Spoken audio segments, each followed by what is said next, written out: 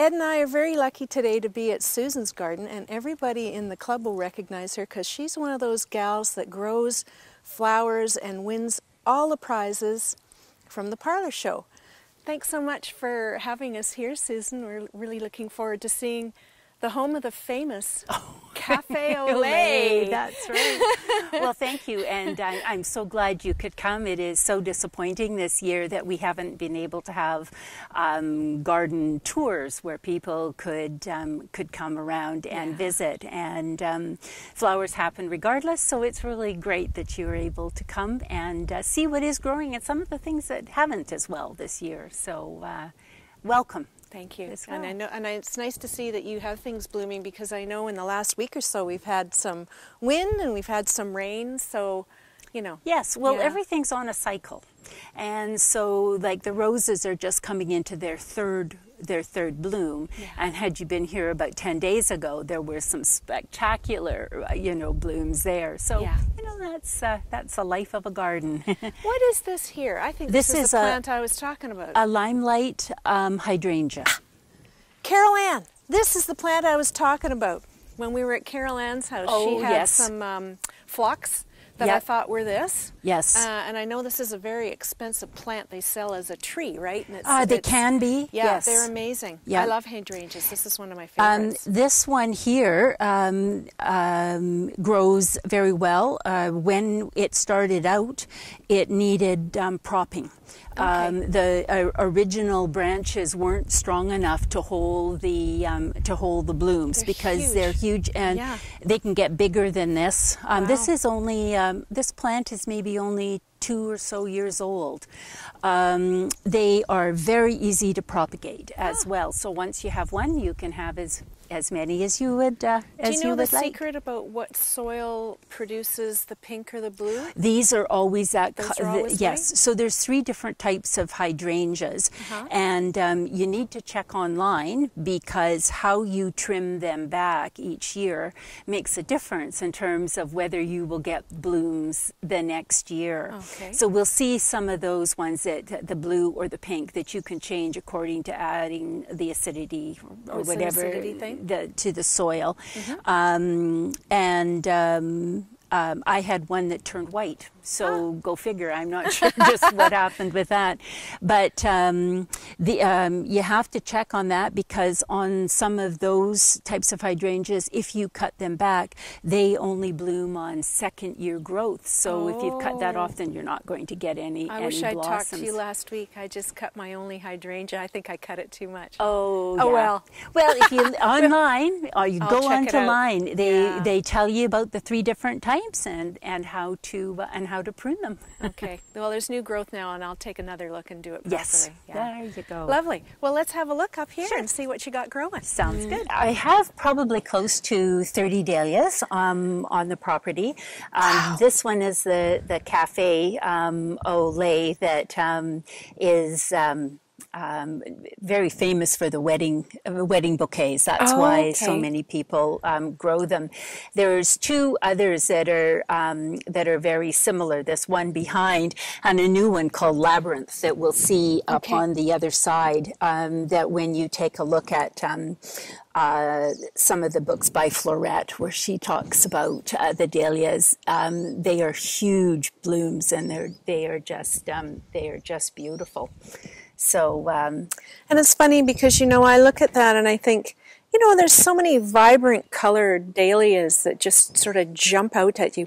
But there's something about this subtle cafe au lait. Yeah, it's stunning. It is. Yeah, yeah, very much, very much so. And you need a little bit of, of everything. You know right. that it's um, uh, that's what for bouquets.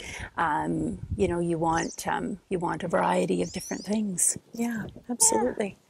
So the other thing that um, that I've probably I, that I love to grow are um, are peonies, and um, I have about twenty five peonies oh now, yeah. and um, uh, I mean, we're obviously really, really late for, for those, but um, that that has been fun finding very unusual um, peonies with all sorts of different colors and different shaped heads, and um, they uh, most of them need to be propped. As you see, mm-hmm. they're all they're all tied. Yeah. Um, some of them get their their heads, like you can see this one here. The head. This is uh, going to going to be a seed pod, but those uh. get so large that the plant can't hold can't wow. hold them up. And these here are um, again maybe about two or three years old. This garden has only been in th- maybe three years up to the boxes. Oh yeah. And how uh, long does it take for for a new peony to actually bloom? Like, does it take a while? Well, um, this here is a one year old um, a one year old peony. Yeah. So when you buy them from places like Breck's or Vesey's, you get a very very tiny tuber, and it usually will have three little uh, um, little starter buds on that. Yeah. And um, that is um, when it came last year. Um, it was too small to put in the garden, so I put it in a pot and I put it in the in the greenhouse. And um, if you buy them, however, at um, locally and they're already coming, yeah. Um, they might be two, at least two years old. Okay. The first blooms you're not supposed to pick. You're oh. supposed oh. to just leave them.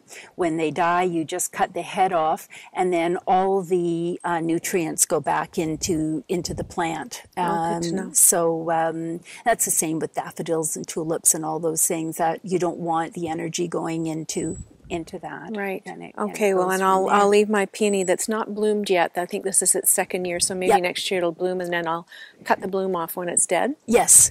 Okay. And um, they like. Um, um, a lot of fertilizer. So because they um, things like bone meal is okay. what they do. They do the okay. the best with. Um, yeah. I buy the fish uh, bone meal from Integrity, huh? and um, early spring you go around, and um, February or so, depending on the year when they start to come up, you give them a good good um, dousing of it. And then when they're finished, you can also give them um, a bit more, and that okay. will give I'll you lots of blooms. Up. Yeah. Yeah. oh, good to year. know. Lovely. Yeah.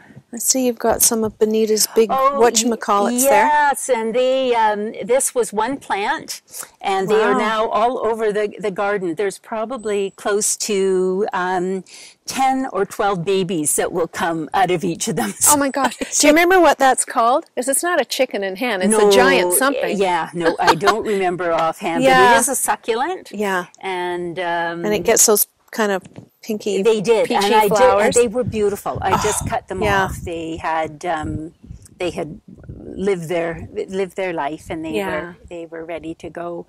So from here on mm-hmm. up um, is a shade um, is a shade garden, right? And um, one of the things that I certainly have um, I've certainly learned is that um, you need to grow um, plants appropriate to their in, their environment. That if yeah. you wanted to put sunflowers here, you're not going to be too happy with, with yeah. the results. And as a result, you can see um, um, how well how well things grow. You, you know, yeah.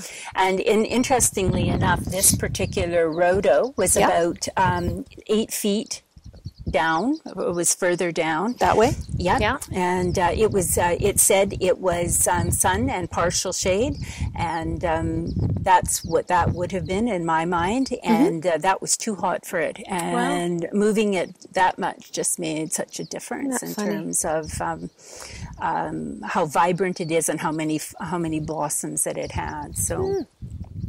Look at that blue hosta. That one's my favorite, and it's huge. Yes. Now, um, I'm just trying to think of the name is in there behind. Ooh, I remember this. Yes, it's an unusual one you bring into the parlor show that everyone goes, "Wow!" Yeah, I know. Um, you know who? Um, um, I haven't brought those in. Oh, someone um, else. Yes, it is. Um, trying to think. Our ex treasure. Or yeah, she she Oh. has brought them in. Okay, yeah, I know who you mean. Yeah. Oh, okay. Well, it's it's really interesting. It, they are, and uh, when we were in France, um, there are acres and acres of them that just go up up, up the hillside by a beautiful Really? church, and uh, they are they are just um, they are just lovely. Um, these here, this is one of the largest um, hostas that you can purchase from um, the bamboo place over on West Saanich Road, and she has a lovely selection of um, of hostas. And um, I wanted something really big to to take up space, and. And that has certainly um, certainly done the trick. Yeah. What you're looking for, the different textures, different colors of green, um, to, to cut for the shade garden, because not much that will flower. That, however, is a black um, hellebore, and that was spectacular. There must have been 20 blooms on it. So again, that that uh, plant was over on the other side of the house, and you move it here, and it has it has just been um, Just been taken off here. fabulous. Yeah, yeah. And so, in order to kind of create um, um, depth, um, we put the um, whoops, put the boxes in Mm-hmm. um, to to you know so that you can have um, taller stuff and Yeah. um, and shorter stuff that are that are there. Are those coleuses? Yes. Yep. Very nice. Yeah. And your uh, bells. Yes. Coral, bells. Coral yeah. bells. Yeah, very pretty. Yep. Now, are you a theater enthusiast by chance? No, I'm a mask enthusiast. okay. I thought there might be a story there. Yeah, no, they were in the house for the longest time, and um, I I love detail. That's just fun. Yeah, That's it fun. is. Yeah. And like so that. you know when you do it, you do you do the design in sort of ten foot sections, and Uh-huh. you just you put stuff together, and and stuff has come and gone um, uh, out of there. Um, I, I've worked towards um, a four season garden, so um, in the spring um, there are um, there's a huge allium huge alliums in these, and they virtually fill the box. And when they die off, then um, then other stuff starts to come. But it's always a work in progress. So I took out some of the ferns, and they have moved up, up there. the so uh, for the fern garden. So that's you know that uh, it's always got a. It's always always on the move. Yeah. Yeah. Yeah. Well, let's have a look at your Careful, ferns. the- the poop. Okay. So um, I love love water, and when we put this in, we wanted it open because I like the way the light um, the light comes through, and um, so anyhow, my husband built this wall. This was not Oh, purchased; really? it was actually Cool. um, actually built. Yeah. And um, there is nothing nicer than coming out and reading a book and having the sound of um, the sound of water um, that is there. And so this, from pretty much from here up, is is this year's garden. So this is um, very very new here. It's about a year old, and um, the goal here is to basically um, use a variety of colors and textures of ferns. So um, this is the Japanese um, painted ferns. And uh, these these two here are hostas, and um, again, um, what you're looking for is different color, different textures. Um, I've also bought some deer ferns. Um, Oh, yes. that are there, and there's two back there because Right. with the bank going down, you need to have something to kind of hold everything Hold together and to cover to cover that area. Um, And are those sword ferns?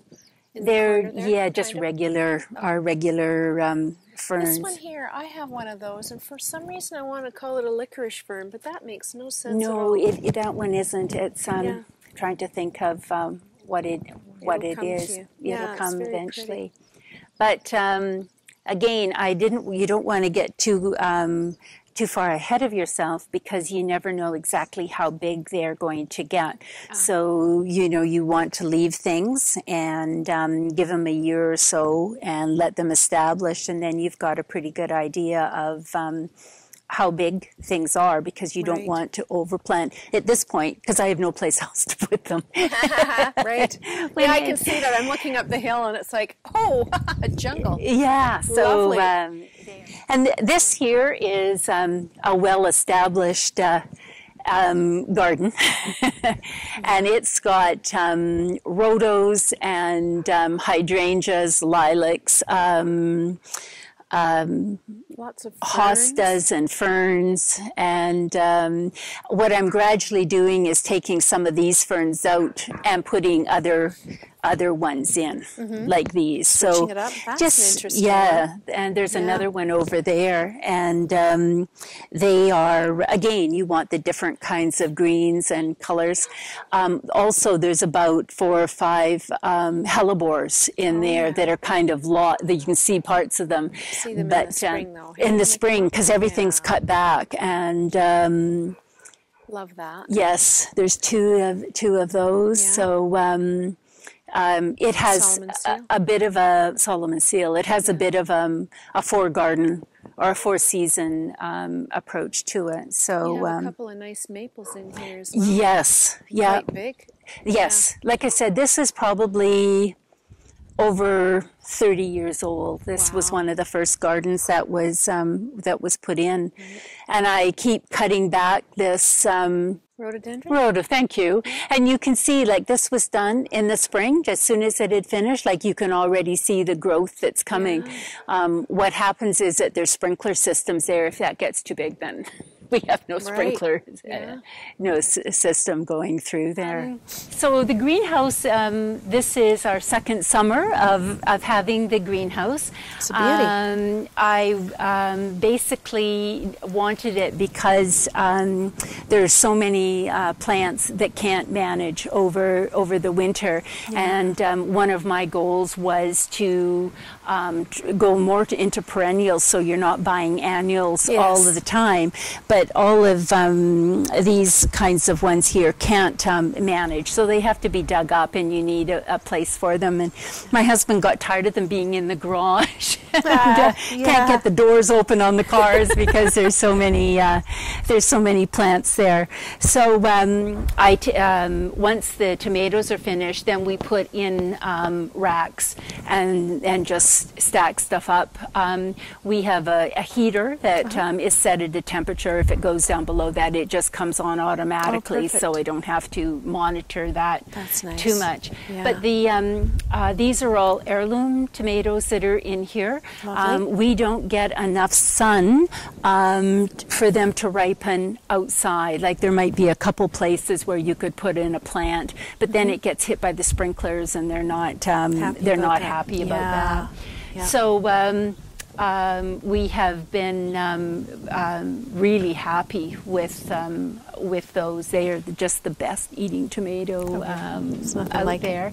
um, I grow um, cucumbers. Cucumbers. This is the second. Um, I, I stagger them so Yeah. the first sets are finished, and um, put frames up, and uh, Oh, you yes. can you can see here how they uh, how Oh, they yeah. How they hang down, and um, and so that works. Um, that works very well. That's and uh, again, for starting to propagate stuff again, and Right. ready for the next plant sale, Yeah. and we're, Yes, and we're ready that's to. coming uh, up. will be it'll be for the spring at this Oh, point in time. These here, um, uh, this garden has only been in for three years, Really? and um, this is the third bloom. So as you can see, these were all cut back.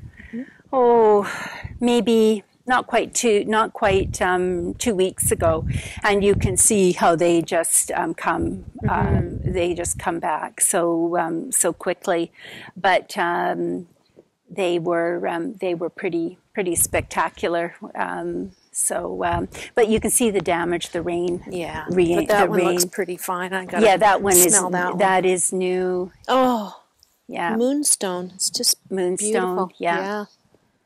Lovely. And then the, the climbing rose over there is Oh, right. normally uh, pretty pretty spectacular um, as as well. And it the first bloom on that you can't see anything other I than can see a little bloom there. What color is that one? it is an orangey an orangey color. Okay, is that the one that changes color as time goes on? Um, you're thinking of Joseph's coat. Yeah, no, it's not. it's not. Okay. No. Um, It's actually Joseph's robe. robe, that's it. Yeah, we've yes. got that all mixed up, and we've sorted that thanks to Carol Ann. Oh, great. because because uh, she has one, and so does Jane. Yes. And so does Anne. Yes. Yeah. And so Yeah. will I, because I'm going to propagate one from Yeah. Anne's. Yeah. Yeah, so those spectacular. Um, look, those work really, really well. Um, next year, um, I will be getting two more larger versions of that. Um, these Oh, yeah. two roses here are not climbers, but somebody forgot to tell them that. Yeah. And they just get so um, large and unwieldy. Right. Um, I've been trying to cut them back to get a sturdier, um, a sturdier stem from them. Um, but this is a new rose this year. This is called Polka, and uh, it has got the most spectacular blooms and um, and color um, on those. It just looks elegant coming out of that bird cage, you know? Yeah, yeah. Yeah, And there yeah. are larger ones of that. And um, if you can kind of control them, and at least then um, you can tie tie pieces in, like it's Right. easier just with a piece of wire or something, just to uh, to do that. And this is where all your peonies live. This is where a much, eh? good number of them. So there's um, about seven or eight up in that back garden, Right. and then um, oh, probably about uh, 15, 15 or so here, and about another three up in that area there.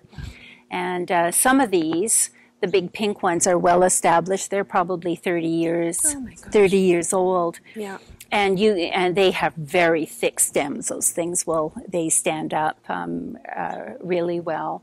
And then these are all the new um, the new ones. There's lots of unusual um, usual ones there. I was just going to talk about the um, sweet peas. Sure. yeah, I left them uh, just because um, uh, because they have been spectacular. It's unusual for them to still be around at this point in time in the year. They tend to be more of a, a cooler um, weather one, but with it, um, with it being um, cool, they have stayed. So um, these, um, you'll notice that the um, the blossoms are are quite unusual, and these seeds are from Chiltern Seeds in England and from Floret um, in um, in the states, and um, they have just. I mean, they're coming to the end, but they have been absolutely phenomenal. There's all sorts of multicolored and flecked ones that are in there, and the scent has been absolutely heavenly. Um, so these um, will be left, and you can see all the pods that are coming, and um, I will pickle those when they when they turn brown and um, and keep them, and um, that will um, give me quite a bit of seed.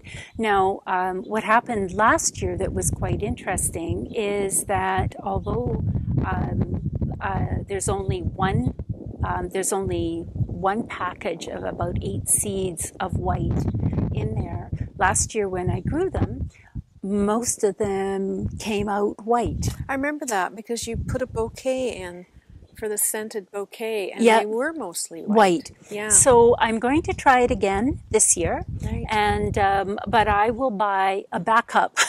Yeah.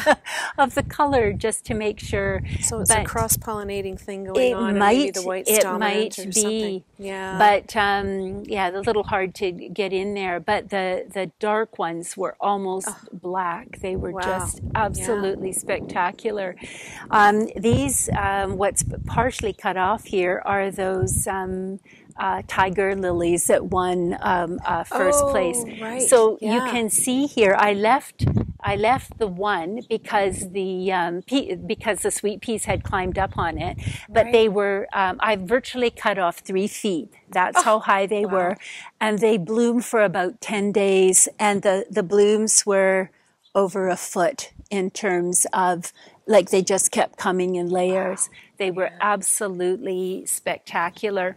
And there's lots of other um, stargazers and other things in here, but they have um, they have just finished. But I left that as um, a, a, a holding rack for, for them because yeah. the, the peony or the sweet peas just went up um, went up those. So um, yeah, yeah. And as I had mentioned here um, before, these are the um, more vermillionaire for the um, for the hummingbirds, and uh, they are very very busy in that area. Lovely. Is that a poppy? This here is a Shirley Shirley poppy. Oh. And you'll notice that it's gray. Yeah. That's weird. It's, it's kind of a gray purple. Yeah, That's unusual. Isn't that? It's very unusual. Yeah. And when you look at that under the macro lens, it is absolutely spectacular. Huh. And um, so that was my first attempt at. Um, see if it stick there, doing that, and Let's you see. can see here. Oh yeah the colors and look look at that like variegated just the mo- variegated and just how dark yeah and the smell oh, is just. Man. If they make a perfume like that, I'd buy it. Yeah, they do. oh, and now you can see the dahlias. Yeah. Now, how do you say it? Dahlia. Ah, yes. I know a lot of people call them dahlias. Dahlias. Dahlias, darling. Dahlias, no, it's yes. dahlia. Yeah. Oh, so now this is like you know we were talking about the fact that um, you buy a, a, a, small like when you start out and you buy really small tubers, mm-hmm. and some you struggle with like you know that's here we are that's been in forever and that's how big it's got. Huh. These two are small. That there is a brand new one. Wow. As yeah. is that pink one, that one. Uh, there. and uh, this is the Labyrinth Dahlia, this new one that is yeah. coming here.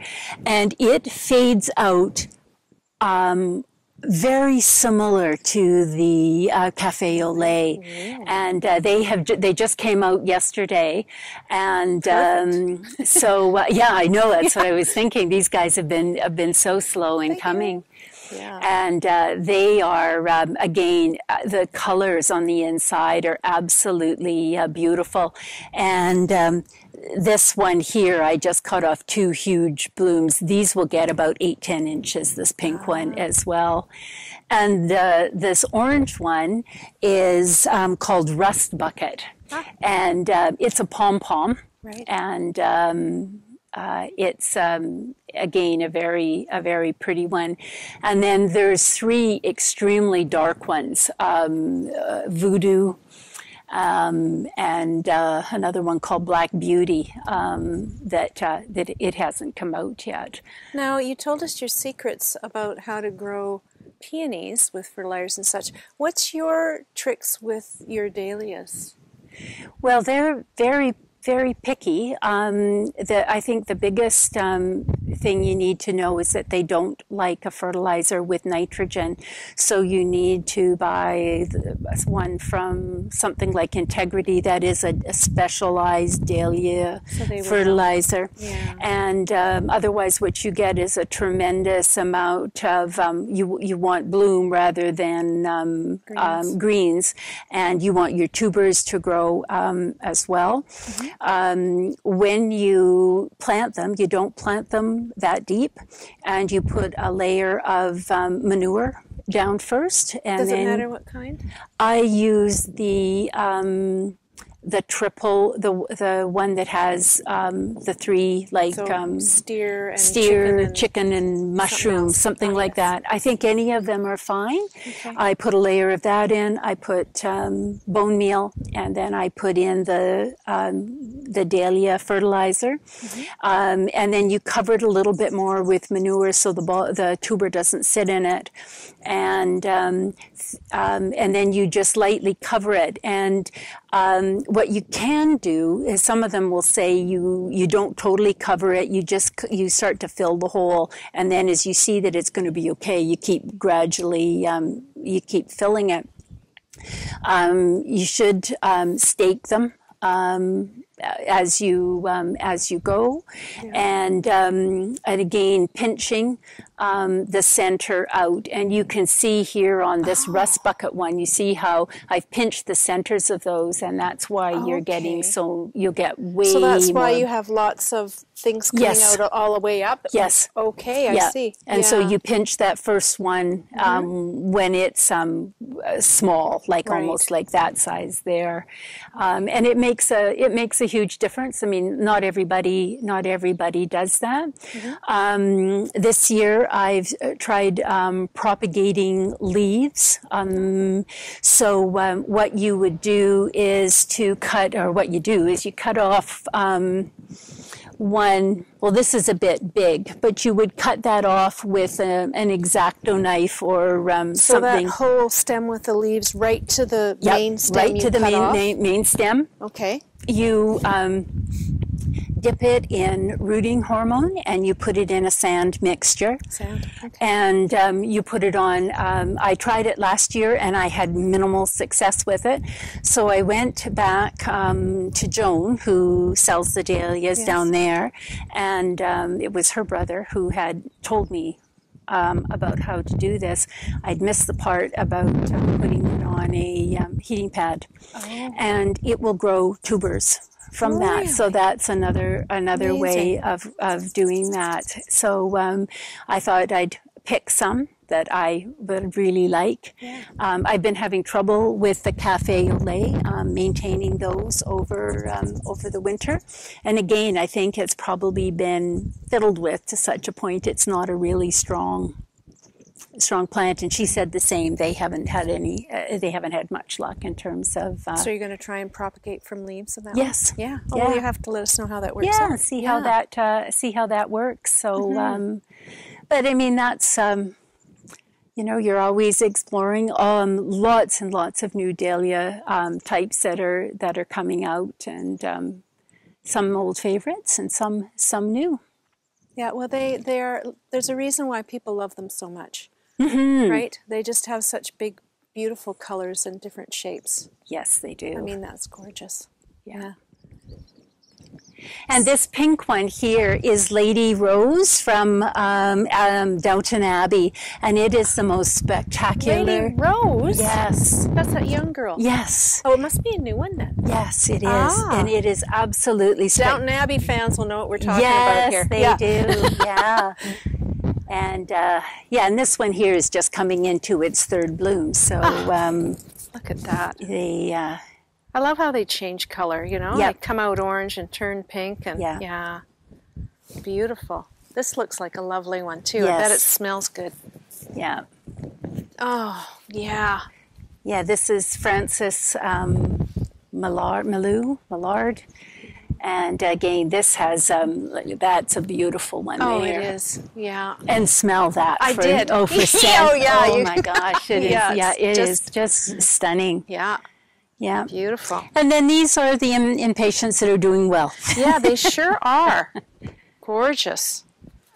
Well, you have a spectacular garden, and now I know Thank where all your lovely things come from, and I'll understand why you have so many beautiful things in the parlor show. Oh, and hopefully, we'll be able to have some parlor shows next I- year. yes. We'll cross our fingers. We don't know what's happening, and we're doing our best. Yes. Yeah. And Yeah. next year will be another year for hopefully getting back to uh, Some sense of normalcy. Yeah, maybe Yeah. maybe we'll be able to get together. I know the executive's working on it, but We are, We'll see. and um, there's um, there it is very complicated, and there's It um, is. It is lots very of roadblocks, and it's just Yeah. not as simple. And um, we also have, our first responsibility is keeping people safe, yeah. and uh, that's where we are. Well, we have our plant sale on September the 19th, so watch for that. Come and buy all the plants. Yes. But, uh, at least that will work out because we've done that before, had the drive through, and, we'll let everybody know the houses that are hosting that Yes, soon. one down at Lindsay's is going to be one. Oh, Her good. and I will be there. One Lovely. at Benita's and one at Joyce Rod's at the moment. Lovely. yeah. And um, So that